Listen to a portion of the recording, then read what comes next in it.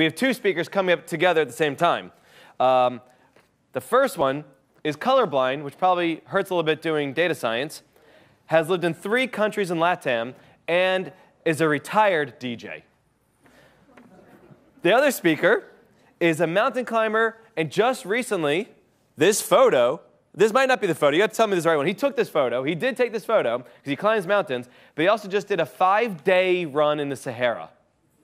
Five days. Please, everyone welcome Ber and Igor. I guess you'll have to guess who's who's. Hi, everybody. We're really, really excited to, uh, to be here and to be here in person specifically. Saying hello to everyone who is joining us virtually, but for now, at least we don't have to say, can you see my screen? Uh, um, to give quick intro to us, we work, both work at Meta, and uh, this is Bernardo, and I'm Igor. Hi, my name is Bernardo Lares. I'm a marketing science partner. I'm uh, Venezuelan, but I'm living in Colombia. and uh, and uh, my name is Igor, or Iggy, as uh, some people call me. Uh, I'm based in, uh, in London, in the UK, and um, I'm the one who actually climbed that, climbed that mountain. So that was, that was a picture that I took uh, back in November in Nepal. So, but anyway, unrelated to the talk we have, the, the talk we have is about uh, we both work at Meta. We work both, both work in digital advertising, uh, and as you probably know, there is a huge amount of change going on in the advertising uh, ecosystem in the, uh, and industry. So since about last three years, there have been maybe 50 different regulations, starting in, you know, in Europe, uh, in the EU with GDPR, then there was CCPA in California, LPG, LGPD in Brazil, and another plenty of, uh, of regulations giving more power to the people to decide what they do with their data. Um, along with browser, uh, browser changes, with deprecations of cookies and deprecations of ways of how uh, digital industry used to measure, target, and optimize, uh, optimize campaigns. Uh, and that itself has led into challenges when it comes to uh, all kinds of things, starting from targeting to optimization, but also measurement. So we are in the meta marketing science team, and we work with advertisers and, agencies try to understand what kind of elements of campaigns are working, and then try to devise uh, strategies to increase the return on the, on the marketing investment.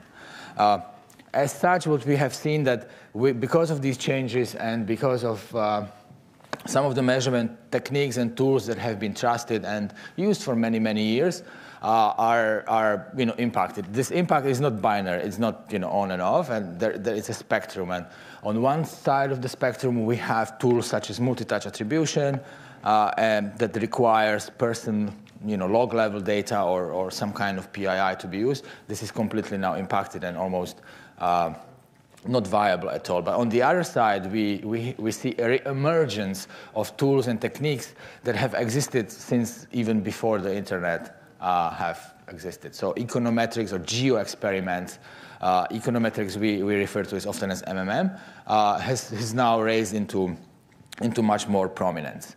Uh, so just to sort of put, put a little definition of what do we mean by econometrics and MMM. So MMM is a statistical tool that uses regression analysis to understand the components of marketing and non-marketing activity, try to, it's a correlation method in a way, try to bring uh, try, try to understand uh, a trend over time by building a regression, by regression, by building regression models. Uh, so this is how it looks. It's totally aggregated time series that is uh, that, uh, that analysts would, would uh, take the data over the last two to three years and try to build a, build a model from it. Uh, using this, this kind of technique, we can understand uh, what is the proportion of media that is driven by the different channels. And here on the right side, you can see that you can actually go into quite a granularity uh, of, of, uh, of a sort of like how, how did the business perform, and you can understand. Now, this approach has been around since maybe 50s or really into 70s, but it has a lot of challenges. And the fact is that it's built manually by hand by analysts presents a huge uh, challenge because it's slow, because it and it has a lot of bias. So a lot of analyst bias, a lot of human bias is sort of projected into into create, creation of this uh, of this formula. We think that is not a challenge as such, or it's an opportunity. And uh, Bernardo will talk about like how have we approached this in, in our open source project uh, that is um, that is currently available. But it's fair to say we think that this uh, method that is old and handmade can be can be dramatically improved, uh, and it can actually become a machine learning supported. Uh, continuous uh, granular analysis that can bring even aspects of uh, of uh, experiments and, and uh, ground truth measurement to improve the to improve the overall delivery. So this is so seriously how it looks.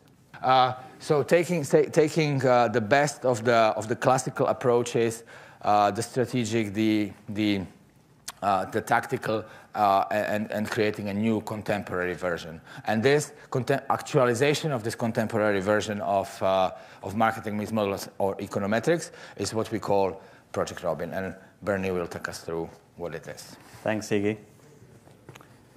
So to have a better understanding of, uh, of what motivates us to promote this project, uh, let's quickly check what is uh, Robyn's vision, what is our goal in marketing science, and uh, uh, finally, what is Robyn?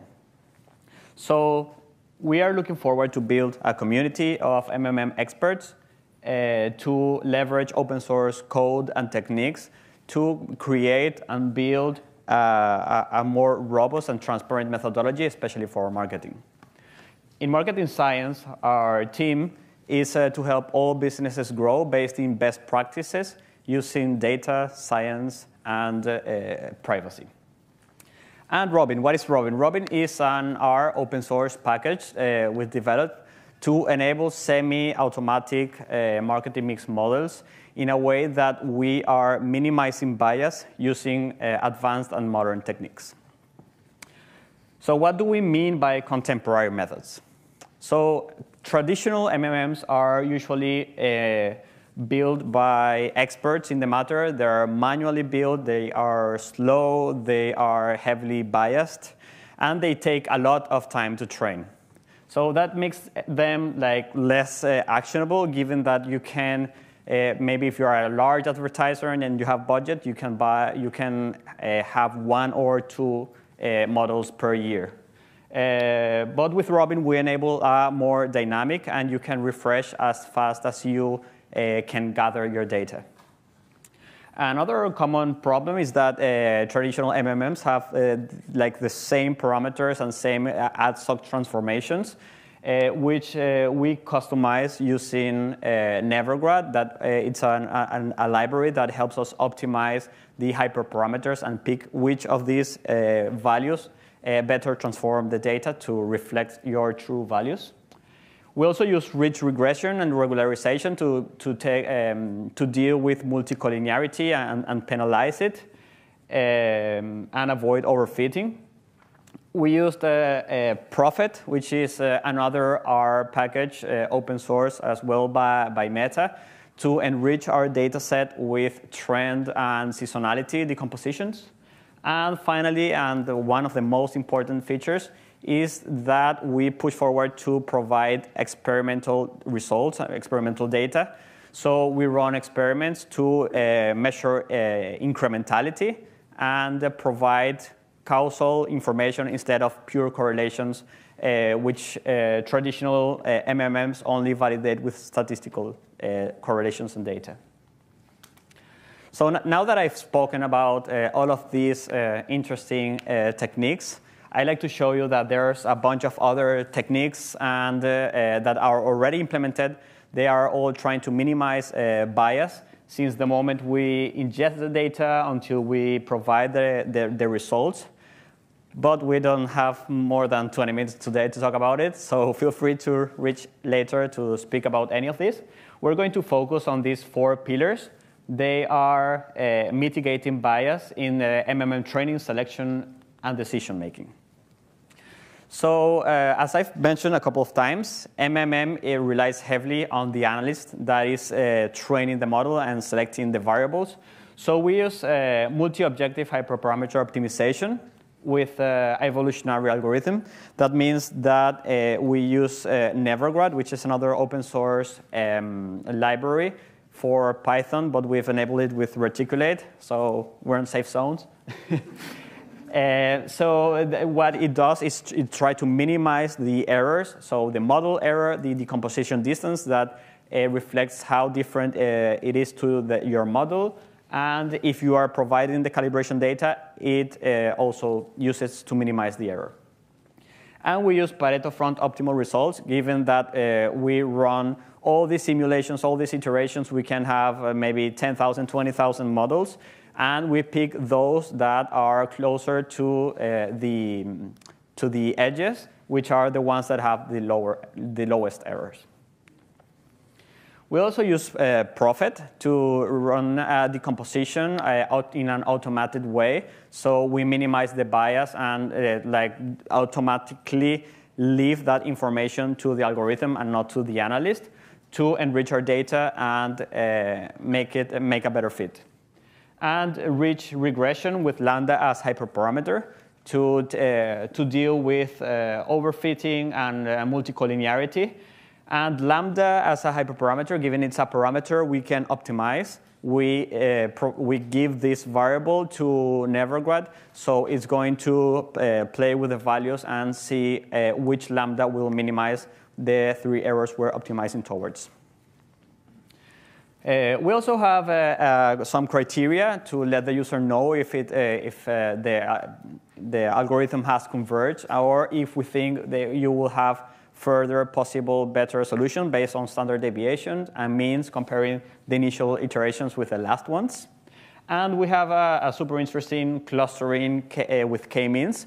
So once we have the 10,000 models we reduced to maybe 100 using the Pareto front, uh, then with those 100, we run clustering k-means with uh, the ROI's results and we group those models that are similar and pick those that have the minimum combined error.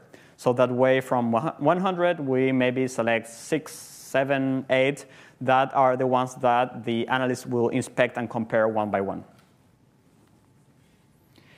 And uh, uh, we also have, uh, as I mentioned, one of the most important and relevant uh, uh, things we have here with Robyn is that we believe that randomized controlled trials or RCT experiments are, are key and the best way to pick which are the best models. So when we provide this calibration information, we use incremental results that are basically what we know is true because we, were, we measured it, and we discard those models that are away from the truth. Uh, when we do this, we add this third objective, uh, objective function to minimize towards uh, to the Nevergrad algorithm. So once you run Robyn, then you have a, a list of outputs that will make them uh, pretty useful to be able to pick which of these models are the ones that better reflect the, the business and that uh, you will continue towards to optimize your uh, budget allocation across all media channels. So we have uh, one of the main outputs is this uh, one pager that it contains like uh, the unique ID the, for that model, the performance metrics, and some visuals with um, the decomposition, the weights for each parameter, the share effect versus share of spend, so you know which ones uh, are more effective. Uh, the results uh, for the ad stock transformation, that means the carryover for each of your media, and, and the regression itself. And the last methodology I would like to speak today is one of the most valuable uh, functionalities we have, we have with Robyn. Once you selected the model, then you can run several scenarios uh, based on the budget you uh, currently run or a, a, a hypothetical um, budget and the constraints. So we use a nonlinear solver uh, on the back end to search for that combination based on the saturation curves uh, to optimize your, your uh, portfolio and the allocation across your media paid channels. So, as uh, you might expect, this is a, a, a, project that has evolved and has changed uh, naturally. Uh, we spoke last year, so the ones that uh, heard about this project, it was like a bunch of scripts, and it was a good idea, but not readily implemented. But we still have a list of uh, things we want to do or feature requests uh, we've received. Uh, the first one is a Python wrapper, uh, so we can enable to Python users uh, to uh, use Robyn and we are not developing in Python, first because we're not Python coders, and uh, secondly because it is still changing and evolving, and we are still having uh, new feature requests and things implemented. So uh, we ha we'd have to wait to, to, to have um, a fully developed Python version. We will enable nested, nested modeling for more advanced users if you want to disaggregate information based on, on brands, on geographical data forecasting and prediction. For that, we'll have to enable time series validation as well. And uh, it's, uh, there's a UI coming up with a Shiny app. So in case you're not uh, quite friendly with coding, then you can run the app, play with uh, the demo, uh, the, with the dummy data we have, and you'll get an idea of what the outputs and how to deal with, with your MMMs. So um, I'm really happy to be here again with all of you sharing about this. Hopefully you can join us to be part of the community, maybe as intellectual, curious people or as uh, active users. Uh, we have uh, the Facebook group where a lot of people, and I've met some of you uh, asking questions around. Uh, we try to make it as uh, active as possible. We have great people collaborating. And of course, we have the GitHub repository where the code lives. And since like three weeks ago, we've enabled uh, Robyn in CRAN. So we're really proud to be the second uh, R package that comes from Meta in CRAN. And uh, you can install the, the, the most stable version from there.